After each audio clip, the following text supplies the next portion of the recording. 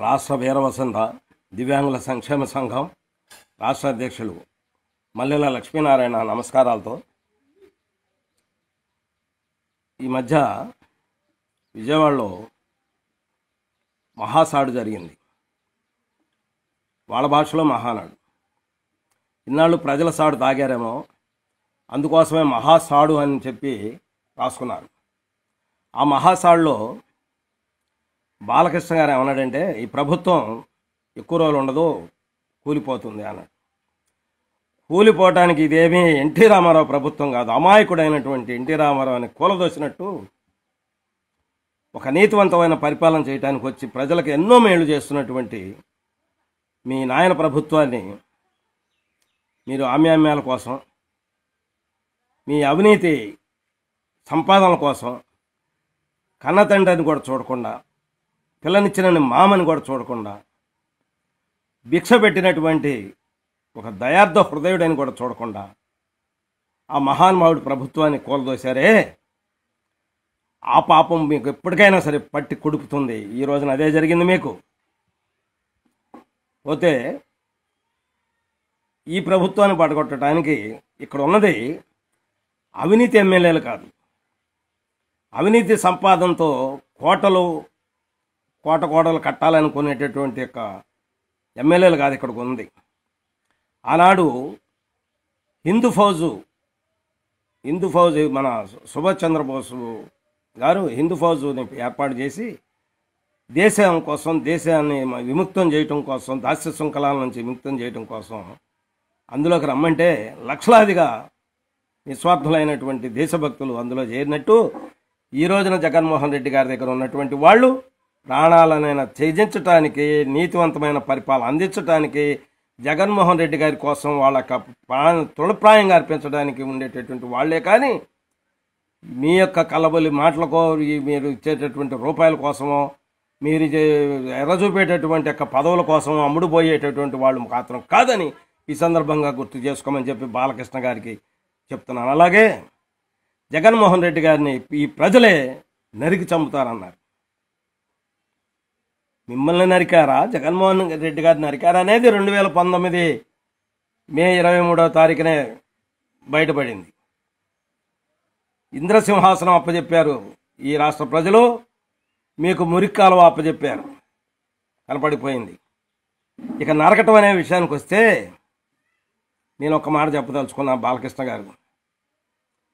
మీ బావగారు మీ ప్రభుత్వంలో నేనేనాడు కూడా తెలుగుదేశం పార్టీకి ఓటేలా అయినా సరే రెండు వేల పద్నాలుగులో చంద్రబాబు గారు మీ బావగారు ముఖ్యమంత్రి అయ్యారు కనుక ఇక పార్టీలు చూసుకోవటం కాదు అభిమానాలు చూసుకోవటం కాదు నా దివ్యాంగులకు మేలు చేద్దామనే ఒక ఉద్దేశంతో నేనే ఒక అడుగు జారి మీ ప్రభుత్వానికి నేను మద్దతు ఇస్తాను మా దివ్యాంగులకు మేలు చేయమని చెప్తే నాలుగున్నర సంవత్సరాలు నన్ను ఏ విధంగా తిప్పుకున్నారో మీ మీ ప్రభుత్వంలో ఉన్నటువంటి అధికారులు కానివ్వండి మంత్రులు కానివ్వండి మీ బావగారిని కానివ్వండి అడగండి. నిన్ను కూడా కలిశాను ఒకసారి నేను. ఏ ఒక్కడూ స్పందించేవాడు కాదు. ఇచ్చిన రిప్ రిప్రజెంటేషను కనీసం ఫస్ట్ పేజీ సగం చదివేవాళ్ళు కాదు. చివరికి మేము అడిగిన డిమాండ్లే కా- ఏ ఒక్కటి నెరవేర్చకపోగా రెండు కాళ్ళు రెండు చేతులు లేని అవిటివాడికి సచివాలయంలో దేవాలయం అని చెప్తారు చంద్రబాబు. ఆ దేవాలయంలో లక్ష రూపాయలు ఇస్తానని చెప్పి సంవత్సరాల కాలంలో ఆరుసార్లు మళ్ళీ నేనే రిమైండింగ్ నేనే అడిగాను. బాబు గారిని. చిల్లిగా వెబల రెండు కాళ్ళు రెండు చేతులు లేని అవిటివాడికి ఇచ్చినటువంటి మాట కేవలం లక్ష రూపాయలు. అడుక్కునేవాడు ఇస్తాడా ఈ రోజున లక్ష రూపాయలు? గుండ మెడి మె- గుడి మెట్ల దగ్గర అడుక్కునేవాడి దగ్గర ఉన్నాయి లక్ష రూపాయలు వాడిస్తాడు మానవత్వం పరిమళిస్తే. ఒక్క కాళ్ళు లేనివాడు కాదు రెండు కాళ్ళు లేనివాడు కాదు ఒక చేయి లేనివాడు కాదు. రెండు కాళ్ళు రెండు చేతులు రెండు కాళ్ళు రెండు చేతులు. మొండం. భార్య ఇద్దరు పిల్లలు ఎలా బతుకుతాడు? అటువంటి వాడికి ఐదు లక్షలు కనీసం ఐదు లక్షలను ఇవ్వాలి? పది లక్షలు కాపోయినా లక్ష నువ్వు ఇస్తానన్న సెండ్ అంతా లక్ష. లక్ష రూపాయలు కూడా ఇవ్వకుండా అంత దుర్మార్గం చేసి నువ్వు ఎట్ట మాట్లాడుతున్నావా ఈ రోజున ప్రజల ముందుకు వచ్చి నువ్వు ఏ వర్గానికి మేలు చేశావు? అదే ఈ రెండు కాళ్ళు రెండు చేతులు లేని సాయిబాబుకి కనీసం నేను కల నేను వెళ్ళి జగన్మోహన్ రెడ్డి గారిని కలవాల?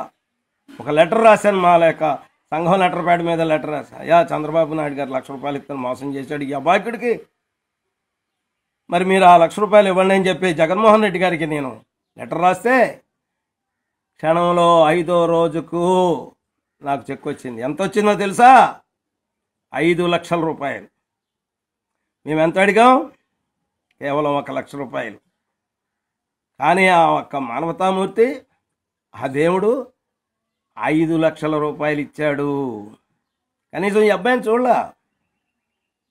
ఈ యొక్క సాయిబాబుని కూడా మా జగన్మోహన్ రెడ్డి గారు చూడలా. నా లెటరే. పాదయాత్రలో చెప్పాను. చంద్రబాబు నిన్ను కలిసినప్పుడు పుట్టుకతో చూపించి పాదయాత్రలో చెప్పా మా జగన్మోహన్ రెడ్డి గారికి. లెటర్ రాసి ఐదు లక్షలు ఇచ్చారు. అదే ముఖ్యమంత్రి అంటే అది. దయార్ద్ర హృదయం అంటే అది. పేదల యందు కరుణ చూపించడం అంటే అది. ఇలాంటి దుర్మార్గుడు మా జగన్మోహన్ రెడ్డి గారి తల నరుగుతారా కబర్దార్. కబర్దార్ చంద్రబాబు బాలకృష్ణ. యోగి సినిమా ఒకసారి చూడండి. దుర్మార్గుడైన కోట శ్రీనివాసరావుని రెండు కాళ్ళు లేని పాకుతాడు మావాడు మా దివ్యాంగుడు. వీరి సీసా పగలగొట్టాడు పొట్టలో పొడిచి పారదింగి చంపేశాడు. మీకు అదే గది పట్టాలా మా దేవుడి జోలికి వస్తే మా దివ్యాంగుల చేతుల్లోనే మీకు మూడుద్ది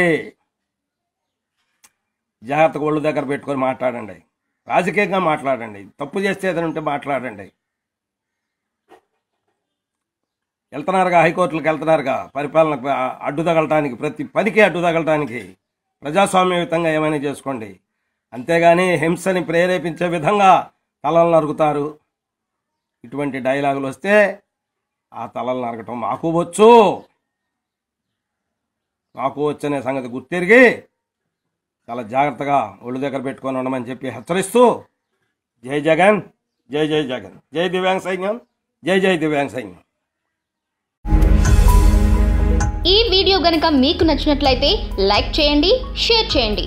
మరిన్ని వీడియోస్ కోసం మా ఛానల్ను సబ్స్క్రైబ్ చేయండి.